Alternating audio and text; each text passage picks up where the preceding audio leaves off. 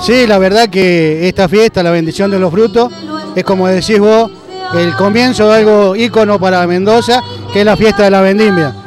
Más que feliz acá participando como siempre, con una municipalidad que apoya, apoya lo, cultural, ¿no?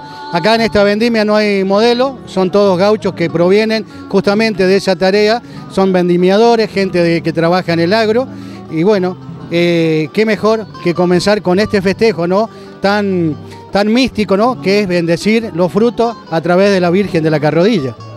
El, gaucho, más que prestigio, es el ser nacional. Es el personaje que fue distinto a los que estuvieron, distinto a los que están y a los que vendrán. Entonces es la persona que le da identidad, ¿no es cierto?, al pueblo argentino. Eh, siempre hay detractores, siempre hay prejuicios de por medio y los, los estigmas a veces nos abruman a los gauchos, pero la sociedad ha cambiado, es una sociedad que aprecia lo cultural, eh, aprecia eh, ese hombre arriba de ese ser tan querido por los argentinos que es el caballo, ¿no? Y forma ese binomio que en realidad forma la identidad misma, ¿no? Hombre, caballo, caballo, hombre, el gaucho en sí.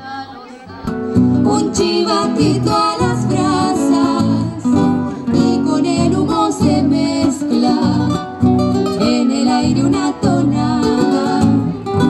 San Rafael hay 47 agrupaciones gauchas.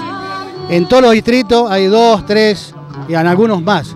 Es cuestión de arrimarse a una de esas agrupaciones gauchas o a la sede de la Federación Gaucha que está en el Parque Mariano Moreno, ex zoológico, y bueno, comentar su inquietud y comenzar a participar. Acá a veces no hace falta pilcha, simplemente un corazón celeste y blanco, y bueno, de ahí en más eh, veremos todo lo que arrastra esto, ¿no? que es esta pilcha que nos hace tan argentinos a todos, ¿no? El caballo, por supuesto, que es el compañero inseparable, y por supuesto, eh, hacer entre los dos eh, esto, la patria.